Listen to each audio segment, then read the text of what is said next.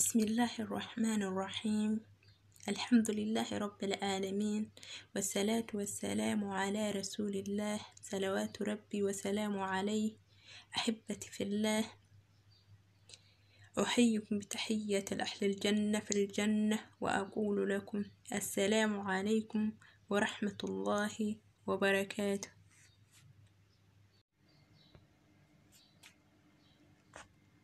ጃፈር ኢብኑ አቡ ጣሊብ ክፍል ሁለት የጀነት መንገድ በእሾክ መሞላቱን የተረዱ ጃፈር እና ሚስቱ በቁረይሾች የሚደርስባቸው ጭካኔና ግፍ በትዕግስት ሊወጡት ቢሞክሩ ከቀን ወደ ቀን እየጨመረ የመጣው የቁረይሾች ሴራ፣ ስቃይና እንግልቱ ከአቅማቸው በላይ ሆነ።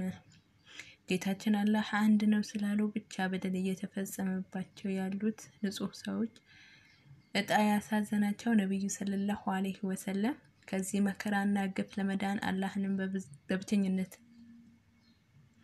ለማምለክ ይመቻቸው ዘንድ በማሰብ በስተመጨረሻ ወደ ሀበሻን ኢትዮጵያን እንዲሰደዱ ትዕዛዝ ሰጡ። ብዙ ሰሃቦች በጃፈር መሪነት የመጀመሪያውን ስደት ወደ ኢትዮጵያን ተደረገ። የትዕቢታቸው ማረፊያ የሆነችው ከልጅነት እስከ እውቀት ያደጉባት ውድ ሀገራቸውን መካን አላህ አንድ ነው ስላሉ ብቻ በሚደርስባቸው ስቃይ ለቀው ወደ ማያውቋት ሀገር መሰደድ ግድ ሆነባቸው። በሰዓቱ በነበረው የኢትዮጵያን ንጉሥ ነጃሺ ጥላ ከለላ እንደሚያደርግላቸውም ነቢዩ ሰለላሁ ዐለይሂ ወሰለም ነገራቸው። እነሱም ለዲናቸው ሲሉ የነቢዩን ትዕዛዝ በመቀበል የሚወዳትን ሀገር በሚወዱት ድን በመለወጥ ወደ ኢትዮጵያን ጉዟቸውን ቀጠሉ።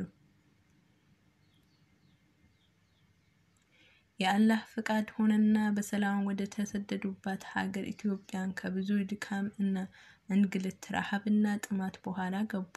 ንጉሱም በሰላም ተቀበላቸው። ከሀገራቸው ናፍቆት ከቤተሰባቸው መለየት በስተቀር ያለ ግፍና ያለ መከራ አላህን እየተገዙ መኖር ጀመሩ። ገና ማሰቃየት የማይጠግቡት የመካ ሙሽሪኮች ስደተኞች ኢትዮጵያ ደርሰው በሰላም መኖራቸውን ሲሰሙ ደስተኛ ሊሆኑ አልቻሉም። ከሀገራቸው መሰደዳቸው ሳያንሳቸው በተሰደዱባትም ሀገር በሰላም መኖር እንዳይችሉ ወደ ኢትዮጵያን ንጉሥ ነጃሺ መልእክተኛን በመላክ ወደ ሀገራቸው ማስመለስ እንዳለባቸው ተስማሙ። የስደተኞቹ በሰላም መኖር እንደ እግር እሳት የሆነባቸው የቁረሽ ባለስልጣናት ስደተኞቹ ወደ መካ ለመመለስ ያሰቡትን ሀሳብ እውን ለማድረግ አምር ኢብኑ አልአስ እና አብዱላህ ኢብኑ አብራቢያን በመወከል ከበርካታ ስጦታዎች ጋር ወደ ሀበሻን ኢትዮጵያን ነጃሺ ጋር ላኳቸው። መልእክተኞቹም ከውድ ስጦታቸው ጋር ሀበሻ ምድር ደረሱ። ያመጣቸውንም ስጦታዎች ለንጉሱ በማስረከብ ስደተኞቹን ለመመለስ የውሸት ምክንያቶቻቸውን ለጳጳሶቹ መደርደር ጀመሩ። እንዲህም አሉ። በንጉሱ መሬት ግዛት ውስጥ የሚንቀሳቀሱ አመፀኞች ሰዎች አሉ። አባቶቻቸው አባቶቻቸው ሃይማኖት ያፌዛሉ፣ ይኮንኑታልም። በህዝባቸው መካከል ሁከትን መከፋፈልንም ፈጥረዋል አሏቸው።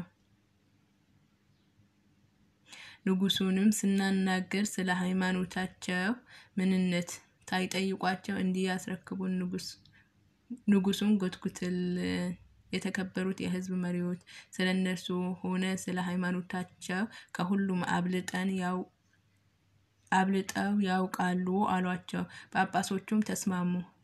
አምር እና አብደላህ በስጦታቸው የተደሰተውን ንጉስ ነጃሺን ባገኙ ጊዜ ለጳጳሱ የቀጠፉትን ቅጥ ለጳጳሶቹ የቀጠፉትን ቅጥፊት ይደግሙት ያዙት አሉም። ንጉስ ሆይ እርኩሳን ሰዎች ከኛ አምልጠው ወደ ግዛቱ መጥተዋል። እኛም እርሶም የማናውቀው እምነትም ይከተላሉ። በወላጆቻቸው እና በህዝባቸው ላይ የአመፁ አፈንጋጮች እንድትመልሱልን የተከበሩ መሪዎች ልከውናል። ብለው ንግግራቸውን ሲጨርሱ ንጉሱም ወደ ጳጳሶቹ ዘወር ብለው ሲመለከቷቸው ጳጳሶቹም ንጉስ ሆይ እውነታቸውን ነው የተናገሩት፣ በሕዝባቸው ላይ ምን ፈጽመው እንደመጡ ስለማያውቁ ለፍትሐዊ ፍርድ ወደ እነርሱ ይላኳቸው በማለት ንጉሱን መግፋፋታቸውን ቀጠሉ። ንጉሱም ግን ፍትሐዊ ስለነበሩ በሰጡት አስተያየት አልተደሰቱም። በፈጣሪ ይሁንብኝ በምን እንደተወናጀሉ ራሴ ሳላጣራ አላስረክባቸውም በማለት መልእክተኞቹን ያስደነገጠ ንግግር ተናገሩ። ንጉሱም አክለውም እነዚህ ሁለት ሰዎች የተናገሩት እውነት ከሆነ አሳልፌ እሰጣቸዋለሁ፣ ካልሆነ ግን የኔን ጥበቃ እስከፈለጉ ድረስ በእኔ ምድር በነፃነት ይኖራሉ በማለት ድጋሜ አስደነገጧቸው። ንጉሱም ነጃሺ ሙስሊሞቹን ለችሎት እንዲቀርቡ አዘዙ። ንጉሱ ወደ ችሎት እንዲቀርቡ ባዘዙት መሰረት ሙስሊሞቹ ከመሄዳቸው በፊት ጃዕፈር ብቻ እነርሱን ወክሎ እንዲናገር ተስማሙ።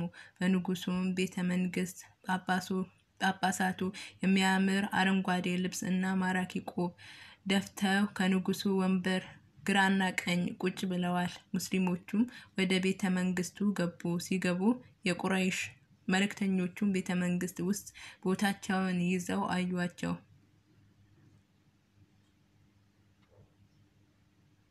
ንጉሱም ነጃሺ መጡ። በመጡም ጊዜ ለንጉሱ እጅ በማንሳት ቃሰውሳት፣ ጳጳሳት፣ ቁረይሾች እንዲሁም ቤተ መንግስት ውስጥ የተገኙ ታዳሚዎች ከሙስሊሞቹ በስተቀር ሁሉም ለንጉሱ ሰገዱ፣ አጎነበሱ። ንጉሱም በመገረም ለምን የአክብሮት ሰላምታን እንዳልሰጡ ሙስሊሞቹን ጠየቋቸው። ያህኔ ጃፈር ቀደም በማለት እኛ ለአንድ አላህ እንጂ ለማንም አንሰግድም በማለት ታሪካዊ መልስ መለሱለት። ንጉሱም አግራሞቱ እየጨመረ ቀጣዩንም ጥያቄ እንዲህ ሲል አቀረበ።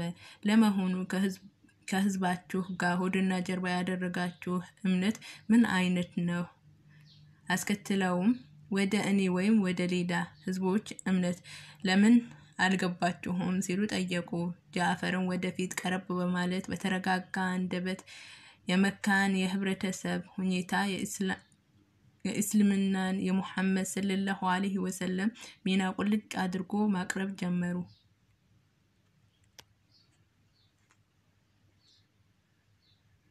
ጃዕፈርም አለ፣ ንጉስ ሆይ እኛ በድንቁርና በምግባረ ብልሹነት የተዘፈቅን ጣዖት አምላኪ፣ የሞተን እንስሳ ተመጋቢ፣ አሰቃቂና አጸያፊ ስራዎችን የምንፈጽም፣ ዝምድናን የምንቆርጥ፣ እንግዳን የምናስከፋ ህዝቦች ነበርን።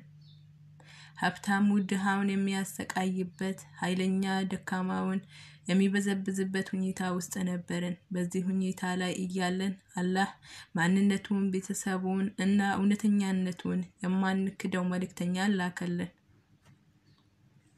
እርሱም ነቢዩ ሙሐመድ ሰለላሁ ዐለይሂ ወሰለም እውነትን ብቻ እንድንናገር፣ ውለታችንን እንድናከብር፣ ለዘመድ መልካም እንድንውል፣ ጎረቤቶቻችንን እንድንረዳ ከተከለከሉ እኩይ ተግባሮች በሙሉ እንድንርቅ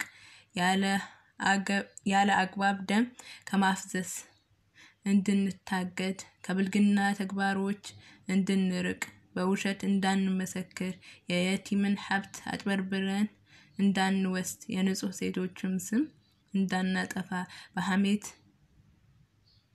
እንዳንለወስ በአላህ ሳናጋራ እርሱን ብቻ